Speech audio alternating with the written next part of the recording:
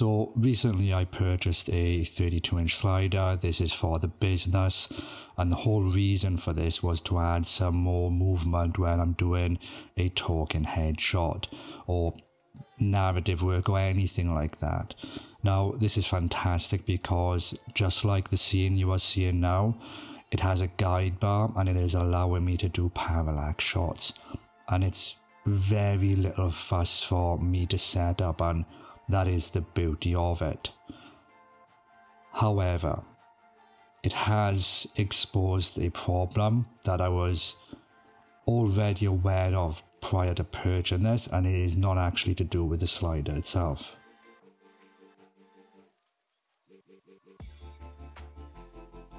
So the GH5, the autofocus is garbage which is why I rely on manual focus. And unless you have a dedicated focus puller with you all the time, and you're not willing to just chuck money at a situation whereby you can purchase a better camera with better autofocus, then the manual route is the way you've got to go. And this largely relies on things like the sensor size, how big the lens is, the aperture that you're using, how far away from the subject is the camera, is the camera moving, is the subject moving. So there's a lot for you to uh, take into consideration when you are a one man band, so to speak. So, what is it that we're going to do that will help fix this? And it's something that street photographers use all the time, and it's actually called zone focusing. And We'll get into that now. So, for a street photographer, they are concerned with efficiency and opportunity. So, they literally just want to lift the camera, see a subject, take the photo. They don't want to be concerned with another step like autofocus to ideally miss an opportunity.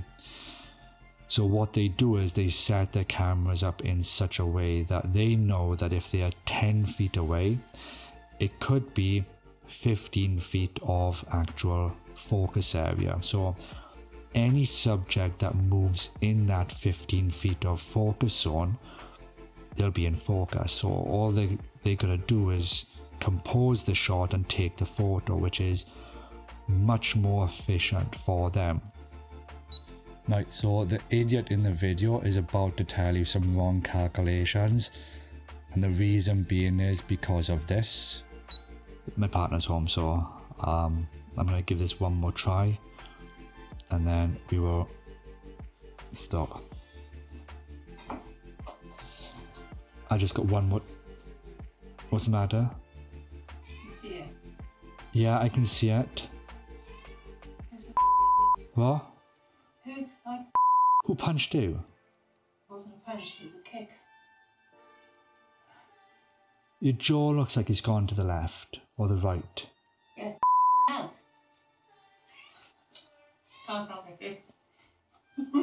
Right, let me finish this and I'll be there.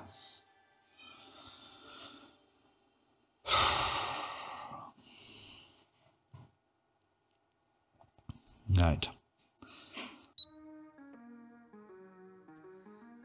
So go easy on him, but he, I've made the corrections on screen, so that will cover that. But yeah, I, I got a little bit distracted. So back to me. So how do they determine how much space is actually the focus zone? And the first step is knowing your sensor size. So for me, this is a micro four thirds sensor, which means it has a crop factor of two. Now what that means is, is that if I've got a lens on there and that is set to 24 mil, that becomes 48. Now because I am using a Canon EF lens, I have a speed booster on there and this increases the field of view by 0.71. So effectively what that does, it turns that 48 into a 30 mil. So now that I know that I have a 30 mil lens effective field of view, and I say I want to be 10 feet away because that's where I feel comfortable taking photos of people, I'll then go, okay, well, what if I shoot at f4? What is, at those settings, what is my focus zone? How big is that going to be? and using an app called Hyperfocal Pro, which is on the Android store. So I'm sure there's something similar on the App Store or the Apple Store, sorry. That is telling me that I'm getting about four feet. So take everything with a pinch of salt because there's obviously certain tolerances that are applied here. But there's four feet of focus zone. So from 10 feet away, what that means is two foot in front and two foot behind, again, pinch of salt, will be in focus. So anything that walks into that zone, if I take the photo quick enough, jobs are good on. But I'm not a seasoned professional when it comes to street photography, so how do I increase my chances of making sure that I get the shot? Simply go into F11 changes it from 4 feet to 15.6. So that has increased my odds of making sure that I get a passerby in focus when I need to.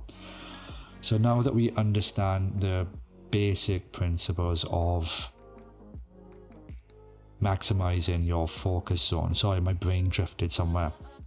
How do we apply this to the camera in manual mode on a camera slider. How do we utilize this method to make sure that when we are doing our testimonials or documentary or narrative work and we're using the manual focus, how do we make sure by using this everything is in focus? And we'll get into that now.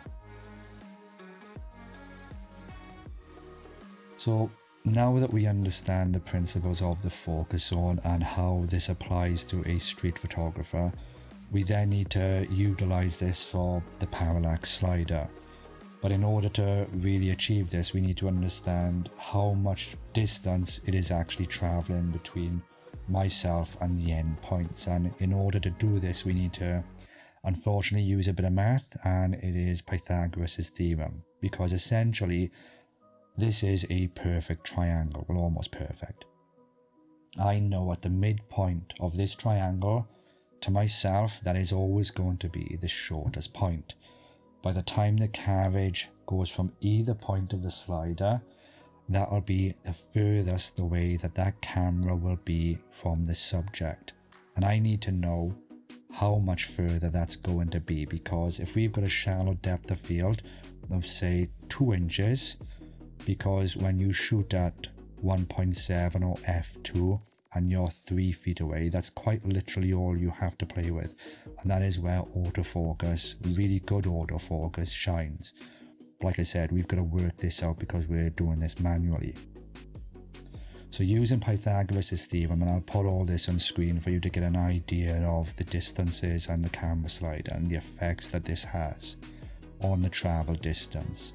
I know that if this is 3 feet away, which is 36 inches, based on this 32 inch slider, the furthest point is 39.39. So let's say 39.4. So that is traveling an extra 3.4 inches.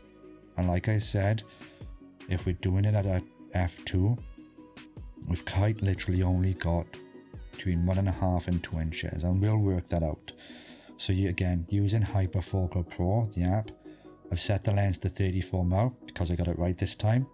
And I've set the lens at f2 and we are 3 feet away. And that is saying that the focus zone that we've got is 0.132 feet. That actually equates to 12 inches times 0.132 is 1.58 inches.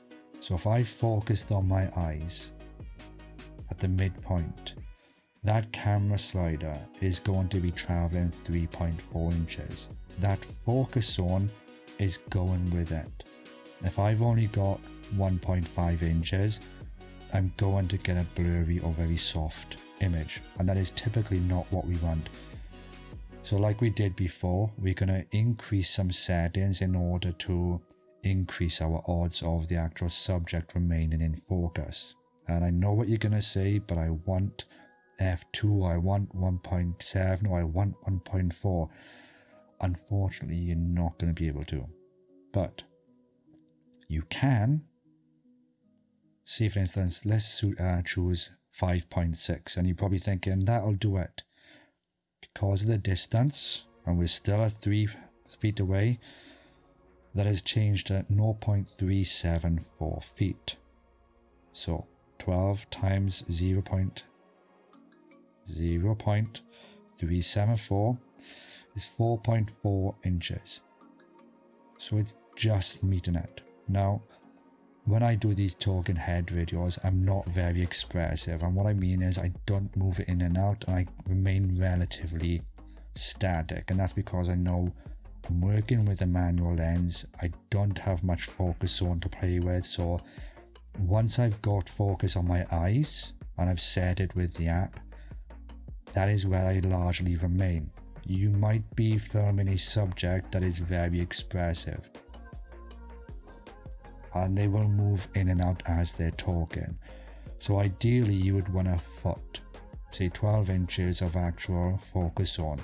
Now, in order to get that, you'd have to leave the lens at 5.6 and you would have to increase the distance by 5 feet. Now, that means that you get 1.064 feet, say 12 inches, of focus zone. Now, the added benefit is with the Pythagoras theorem, and I'll put it back on screen again. Because this is a 32 inch slider, that is fixed, that is a fixed dimension. By moving it back to 5 feet, I am 5 feet at the shortest distance. But the actual distance between myself and the point is no longer that much further than the center point because of the way that the, the Pythagoras theorem works.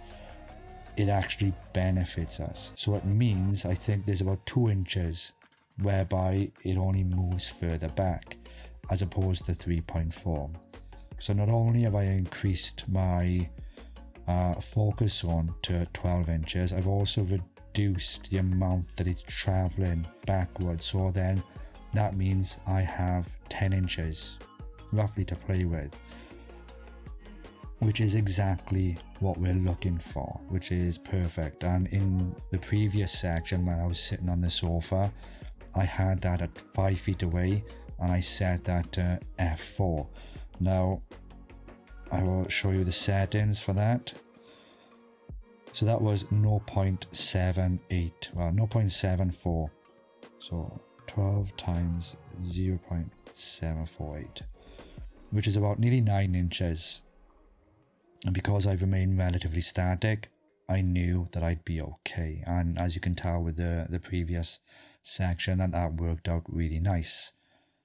So those are the things that you need to take into consideration when you are purchasing a parallax slider and you intend on using it with manual focus because you ideally want to set and forget. It affords you the ability to scout the venue first, see how much distance and the location that you have to be able to utilize this because it might be that whilst you want to use the camera slider in that scenario where there's not enough space and there's not enough light and you have a pretty big slider, it's a bit of a no-go. But it's all things that you need to consider and I know it's frustrating because as creatives we want to be very artistic but there comes a point where we do have to use a bit of math in order to make sure that what the client is ultimately paying for is delivered. And that is it. Um, so if you found this content useful, give me the thumbs up and yeah, I'll see you in the next one. Cheers.